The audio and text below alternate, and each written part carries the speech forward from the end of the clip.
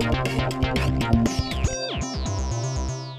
Sigue rejugado, por supuesto, en este día viernes a través de las pantallas de Etcétera. No te pierdas nada de lo que ocurre con el programa en www.etc.cl, el centro, por supuesto, de todas las series y programas de Etcétera Televisión. Por supuesto, busca el link de rejugados y revisa videos de nuestras antiguas revisiones y de programas pasados. Todo lo que necesitas saber, por supuesto, está ahí en etc.cl y Jerry Senpai nos cuenta algo que ocurrió años atrás. Exactamente, porque cuatro años después que el virus azotó a la humanidad, un grupo de sobrevivientes logrará reunirse y enfrentar a los simios genéticamente evolucionados liderados por César.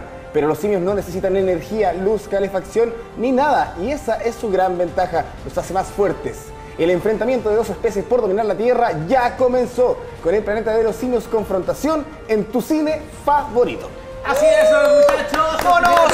Confrontación. Gran película. Estamos regalando todavía merchandise de la película. Para eso, sácate una foto con tu mejor cara de mono, como la que está haciendo Mr. Ates ahora. Tienes que subirla ahí en el banner en www.tc.cl y participar por el merchandise de la película El planeta de los simios confrontación. Eso Ese- más que mono pareció cualquier cosa. Ese mono, Ah, ese mono se comió Sí, fue un un, plátano en mal estado. Oye, no ha ido mal con las ventas, cabrón. No se ha vendido. Oye, nada. sí, ya, pues, pase, pase. La señora, que A señora que pasó a comprar devolvió la foto. Lo que pasa es que la gente parece que aquí en el canal no tiene plata. Oh. Pero ya, oye, queremos invitar a la gente del canal, es fin de semana, queremos hacer algo. Están Por favor, señorita, la invitamos. Oye, oye. ¡Se robaron la guitarra! ¿Se fue? La delincuencia de ¿Se estos fue? días. Señorita, por favor, adelante. Más rápido que un camarógrafo lanza, increíble. Oye. ¿No hay nada? Sí, no, es que yo todavía estoy con. Pero se espere, yo si se lleva el juego, le doy de regalo los pósteres de Pokémon. Ese está a 5 lucas. No, sápese- pues 10, se muere la Después arreglamos. Ya, después después se lo arreglamos. anoto. Sí. Se lo anotamos. ¿Cómo se lo vaya a anotar? Ella trabaja en el canal, ¿cierto? No. No. Oye, Se lo- no. ¿Pero y por qué se llevan las que paguen? Oye, pero ellos no trabajan acá. No. Pero nos robaron. De nuevo. Ya, pero hay que seguir con el programa, Jerry. Sé que son Vamos. un fiasco como comerciantes, de verdad. Hay que llegar al ranking del día de hoy. Nos robaron. Por favor, ¿de qué es el ranking del día de hoy, Jerry Senpai? El ranking del día de hoy, viernes, con ocasión especial, también vamos a revisar los mejores juegos retro, pero de PC. Aquí Chan, chan, chan, los juegos chan.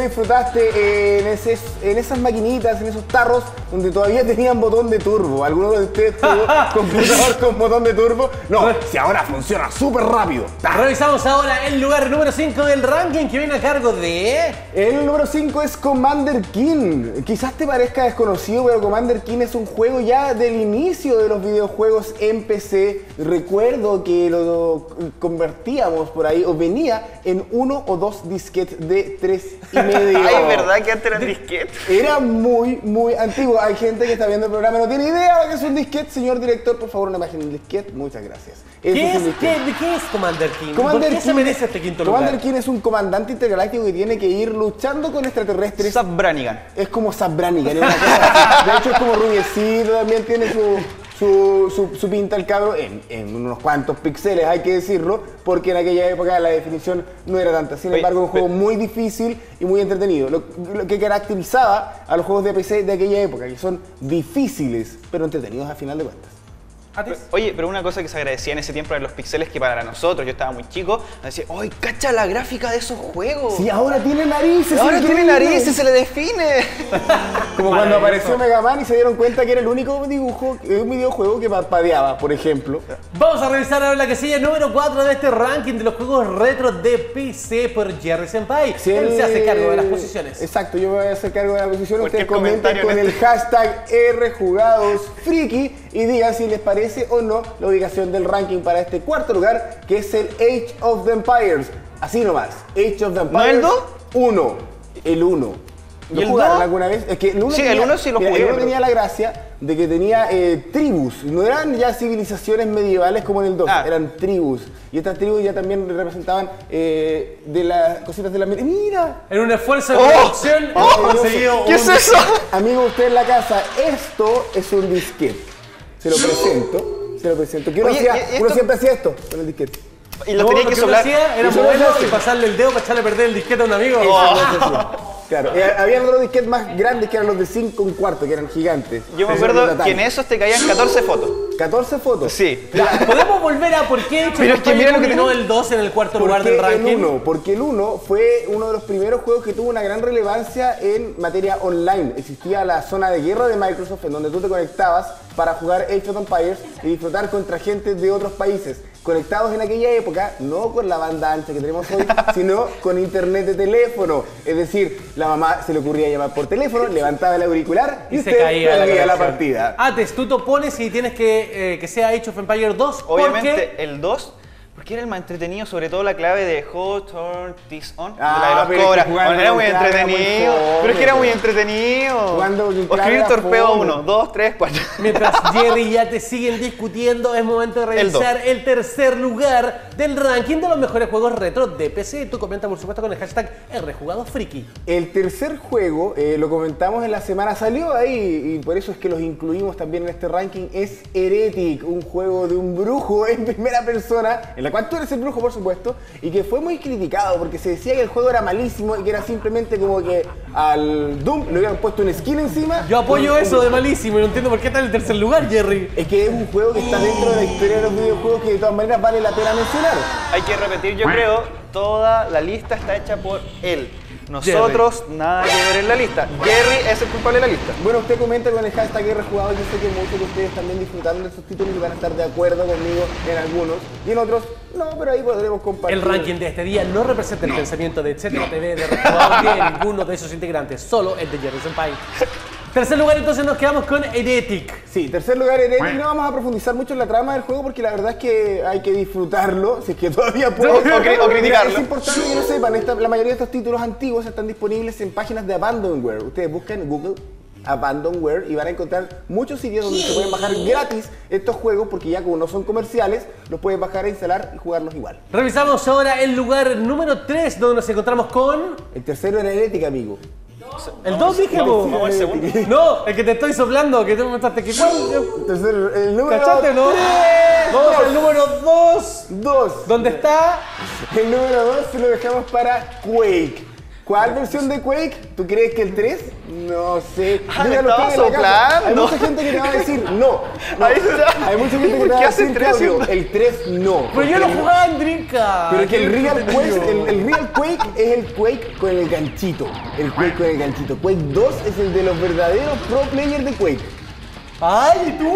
El pro player que asiente con la cabeza. A ver, yo defiende el no. argumento. Sí, es la pro player. ¿Por El- qué? Cuando era chico, mi- mis amigos me llevaban a jugar el 2. Nunca jugué el 3, por eso apoyo el 2. Ojo que para jugar el 3 ya necesitas un Tú vivías en otro país cuando niño. Oye, no en otro país, en otra ciudad. Una gran ciudad. No, acuérdate. Oye, ya, pues, bien, ¿qué onda? Oye, recordar que Quake 2 corría a 32 megabytes de video en aquella época con una de esas Voodoo 3000, ¿se acuerdan? Esas, esas tarjetas de video con unos nombres súper extraños que llegaban. Sí, me daba miedo que se llamara Voodoo.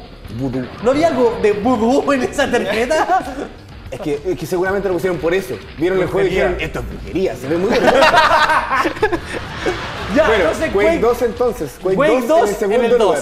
Quake 2 Y en ahora el nos 2. vamos, por supuesto, con el número uno, número uno, número uno, número uno, número uno, número uno, número uno, número uno del ranking de juegos retro para PC, responsabilidad de Jerry Senpai en Rejugados. Mira, el número uno definitivamente se lleva el premio por el título, por la trascendencia y porque también tuvo un remake hace no mucho. Me refiero a Wolfenstein 3D. Porque era un atrevimiento ponerle 3D a un título en aquella época si lo comparamos con los juegos de hoy día. Exacto, tenía una vista en primera persona y una disposición de los píxeles que parecía ser que tú estuvieras jugando un juego en tercera dimensión, porque tenía una, un- un- una placa sobre otra, una, una lámina sobre otra, una layer sobre otra. Eh, ahora, decir que eso era 3D es como, ¿en serio? No te creo. Porque ahora realmente estamos disfrutando de juegos en verdadero 3D. Son muy, muy pocos los que pueden decir, colgarse la chapa de juego 3D como lo hizo Wolfenstein con dignidad durante muchos años. Un título que realmente marcó pauta es lo que significó en definitiva la escena de los shooters en primera persona. Oye, parece que nos quieren robar, Jerry. ¿Sí? No, no, que está, escuché unos comentarios arriba de que querían robarse las cosas, ¿ya? ¿Me está poniendo la patita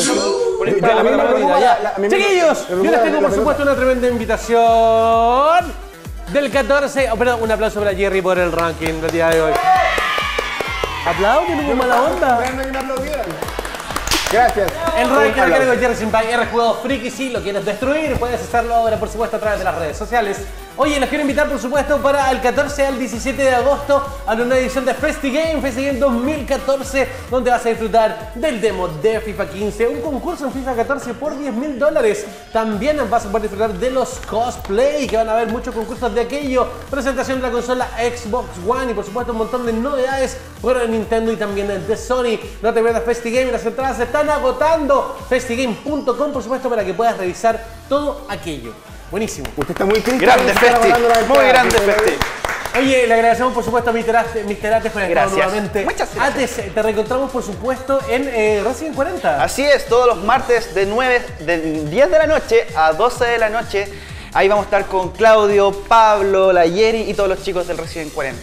En tus 5 minutos. En mis Ay, cinco te- minutos. Te viene un video de internet pelando que 5 Oye, minutos. también pueden suscribirse a mi canal que lo estoy retomando en YouTube, Mr. Ates, busquen ahí y van a encontrar un video que ya subí de 5 cosas, o sea, de Eso. 15 cosas. De Jerry, ¿algún saludito que quiera mandar? Sí, saludo a toda la gente que nos sigue a través de las redes sociales. Muchas gracias. Ya más de mil personas en Twitter. De realmente el cariño de la gente se siente a través de las redes sociales. Y eh, dejarlo invitado también para el día de mañana que vamos a tener el estreno de un nuevo capítulo de Final Round, por supuesto, en Smash.cl. Final Round. Sí, Con Dani, Dani Pine. obvio. Estuvo ayer acá y nos contó de qué se Me trataba. encanta Dani Pine. Qué bien. Sí. Ayer debe ser que me corté un poco ayer en el programa. Estaba cortado. ¿Qué pasó? ¡Carabinero! ¡Carabinero! No.